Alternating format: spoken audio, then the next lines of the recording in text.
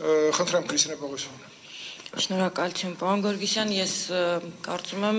վստահ եմ ու հավատում եմ, որ այնինչ դուք անում եք, դրա տակ միայն ազնիվ մղումներ են, որպես կանոն, ինչքանով ես հասցրել եմ ուսումնասիրել տարբեր հաջողության պատմությունները ու տարբեր պետությունների, այդ հաջողության մեջ միշտ այնպես է լինում, որ երբ որ մասնավոր սեկտորն է դրանով զբաղվում, ինքը ունի անձնական շահագրգռվածություն եւ հենց դրա հաշվին է լինում։ Ու հակառակը, որտեղ որ նայում ես, որ թողնվում է ուսադիրով մարդկանց ղեկավարության տակ, գիտությունը կոնկրետ էլի ամենայն հարգանքով իրancs մոտ ավելի առաջնային ուրիշ հարցեր են գալիս, ուժային հարցեր եւ հետո նոր գիտական հարցերն են գալիս։ Հիմա ես ոնց պատկերացնում եմ, այդտեղ միակ խնդիրը տարկետման հարցն է, որտեղ օրինակ եթե դուք ցանկանում եք ստեղծել face up ծրագիր, face control ծրագիր, որը կաշխատի ու դուք գիտեք, որ դա ձեզ բերելու է միլիոններ, իսկ ինքը բերելու է 21-րդ դարում, դուք այդ ուղությամբ աշխատելու եք։ Այսինքն միակ խնդիրը, որ այդ ուսանողը ներգրաված չի լինում այդ գործին, այն որ ինքը գնում է բանակ, կիսատ է մնում իր աշխատանքը ու չի վերադառնում։ Այսինքն մենք կարող վերադառնանք պատվեր առաջարկ հաշվի, այսինքն եթե պետությունը, պաշտպանության նախարարությունը իջացնում է կոնկրետ առաջադրանք, ինձ այսինչ բանը պետք է, բացարձակ կարևոր չէ, կենտրոնը որտեղ է գտնվում, որ անում են։ Եթե Պոլիտեխնիկ համալսարանի ինստիտուտը, մյուս ինստիտուտը ներկայացնի, ասի ես ունեմ այսենց խումբ ուսանողների, որոնք զբաղվում են դրանց դրանով, իրենք ավտոմատ պետքա ստանան տարկետում ու զբաղվեն դրանով, ներգրավեն պաշտպանության նախարարություն։ Դա առաջի հասնա, ոնց եք դուք դա տեսնում այդ լուծումը, եւ երկրորդը չասեցիք որևէ նկատառում կառավարություն ներկայացրել է ֆինանսական մասի հետ կապված, ծախսերի հետ կապված։ Շնորհակալություն, վերջին հարցը ավելի կապություն է կապված։ Առաջինն կապված նաև հենց երևի ձեր ասած դրամապահության ռազմասնավորության համալիրը դուրս եկավ պաշտպանության նախարարության կազմից եւ բարձր տեխնոլոգիական ապրության նախարարության ղեկավարության գտնվում, այսինքն գիտությունը միշտ ավելի առաջ է գնում, քան ռազմական համակարգ, այսպես ասենք, հա, ռազմական համակարգը ավելի պահպանողական է եւ ավելի ինը։ Սա նաեւ լավ է ես կարծում, որովհետեւ դա է լիդերշիփ։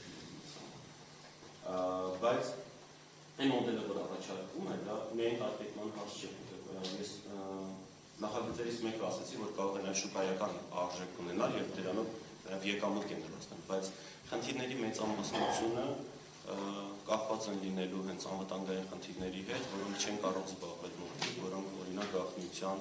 համապատասխան թույլտվություն չունեն կամ պետք են լինելու ծրագրեր ու սարքավորումների ձեռքբերումներ, որոնք կրկին պիտի պետությունը անի, որովհետև դրանք վաճառվում են միայն պետություններին եւ երբեք անհատը դա չի կարող ձեռք բերել։ Նույն այս պատերազմի ընթացքում մենք նմանատիպ խնդիրների հանգեցինք։ Ու այստեղ նաեւ որևէ պետության փորձ չկա, որտեղ ռազմարտունաբերությունը զարգացել է ու պետությունը տեղ գումարներ չի ներդնել։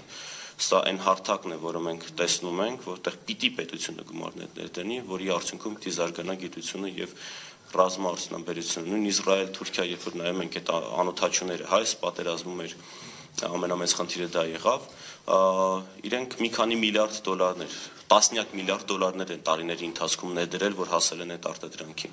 Հիմա այս մրցավազքի մեջ մենք այլևս նոր բայրակթար, եթե փորձենք արտադրել, չենք հասնելու Թուրքիային, այսօր եթե սկսենք, որովհետև նրանք արդեն 100 միլիարդ դոլար օրինակ ծախսել են, ստացել են արդյունք, մենք մինչև ծախսենք դրա կեսը ստանալու արդյունք, իրենք արդեն նոր բան կստանան։ Մենք պիտի մի քայլ առաջ գնանք, իսկ այդ մի քայլ առաջ գնալը միայն գիտությունը կարող է մեզ ուշել, ուր պետք է գնալ։ Այո, նոր բանի վրա պետք է աշխատենք մենք։ Ու այդ նոր բանը մենակ գիտնականները կարող են մեզ ասել վաղը ինչ կարող է լինել։ Ու դա այո, պիտի չլինի պաշտպանության նախարարությունը, որովհետև պաշտպանության նախարարությունը կնեք ինքը անվտանգության խնդիր լուծող է։ Գործիքները այդ խնդիրը լուծելու պիտի տան գիտնականները։ Ես այդպես եմ տեսնում։ Շատ ավարտական։ Պարոն Գորգիսյան, ամենայն հարգանքով ես այլ բան էի ասում, մի քիչ իրար մենք ճիշտ չընկալեցինք։ Ես ասում եմ ճիշտ եք ասում, բայց արդեն ապացուցված է, թե որևէ գործ ուզում ես պրավալի տանել, հանձնաժողով ստեղծիր, կոմիտե ստեղծիր, միավորում առանձնացրու, հիմա ձեր ասած այդ տարբերակն է։ Մի հատ էլ առանձնացնենք, եթե արդեն կա ռազմաարդյունաբերության ինստիտուտը, ինչ ենք մենք իրանից դուրս բան ստեղծում։ Չէ, ես ասում եմ, այն ինչ ասում եք, Ես կարծում եմ, որ լավագույն միտումներով եւ նպատակներով եք ասում։ Ասում եմ մեխանիզմը, որ դուք ասում եք, այնքան էլ արդյունավետ չի ու չի կարող աշխատել, որովհետև կոմիտեից դուրս կոմիտե, խմբից դուրս խումբ, հանձնաժողովից դուրս հանձնաժողով Ինչն է խանգարում այդ ամեն ինչը լինի հենց ռազմարտունաբերություն։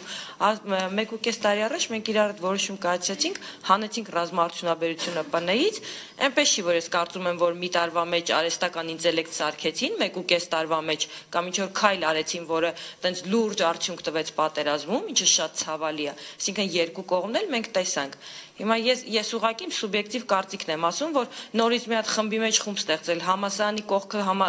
կոմիտե ստեղծել, այդ անել ավելի բարդ ճանապարհ է ու ինտուիտիվ զգում եմ, որ ոչ միտեղ տանող ճանապարհ է, որտեվ այդ խնդիրը ուրիշ ձև պետք է լուծվի։ Ու ելի ասում եմ, այստեղ կարևորը պահանջարկ առաջարկ խնդիրն է, այսինքն այո, պաշտպանության նախարարությունը, զինված ուժերը իրենք գերատեսչություն են, որ անվտանգությունն են ապահովում, իրենք պետք է իջացնեն պահանջարկը եւ արդեն առաջարկ պետք է համասանները ձևավորեն։ Ասի ինձ պետք է մի բան, որ 15 կիլոմետրի վրա ֆիքսի մարդու դեմքը, ով դա անի, այդ դա արդեն պետության գործառույթն է, որ համասանը կամ ուսանողների խումբը դա կանի, կստանա պետությունից օրինակ 100 միլիոն գրանտ։ Եվ վերջ, դա դա է լավագույն ստիմուլը անելու այդ աշխատանքը։ Շնորհակալություն։ Իրականում այն ինչ դուք ուզում եք նախագծում կա եւ որևէ այդպես տարբեր տեղերից դուրս գալու նոր ինչ որ կոմիտեի մեջ կոմիտե ստեղծելու մասին չի խոսքը, ռազմարտունաբերության համալիրը կա, բայց այն այսօր չունի գիտական բաղադրիչ։ Մենք ունենք ռազմարտունաբերության համալիր, որը Եկեք շարժվենք կանոնակարգով, հա դիտակ ավարտեմ։ Ինքը ճունի գիտական բաղադրիչ ու ամբողջ աշխարհի փորձը ցույց է տալիս, որ գիտական կենտրոնները գնում են խոշորացման, այսինքն մի բուհ, միգուցե մի բուհի վրա մենք չկարողանանք որպես պետություն կամ բուհի իր միջոցներով այն լաբորատորիաները սարքի, այն սարքավորումները ձեռք բերի, որը մեզ պետք է։ Բայց համատեղելով այդ ամբողջ ռեսուրսները միտեղ, եթե մենք ունենանք, չգիտեմ, տրիլիարդ դոլարների բյուջե, ես համաձայն կլինեի, որ ամեն բուհին մենք տանք այդ գումարները, ինքը ունենա համապատասխան լաբորատորիաներ եւ անի, բայց մենք չունենք այդ հնարավորությունները։ Եվ մենք առաջարկում ենք, որ այդ ներուժը կուտակել միտեղ, հավաքել միտեղ, որը կապ կունենա եւ ռազմաարսնաբերության հետ եւ անվտանգային համակարգերի հետ, այնտեղից կբերի առաջարկներ եւ շատ հաճախ նաեւ նայեք, մինչեւ շուկայում նոր բան դուրս չի գալիս, մենք չենք զգում, որ դա մեզ պետք է մինչև այդ հերակավառավարման հերոստացույցները դուրս գալը շուկա, մեզ բոլորիս կարծում ենք, որ այդ այլ կգնանք կսխմենք։ Մինչև անլար հերախոսների դուրս գալը, դե կրկնեմ,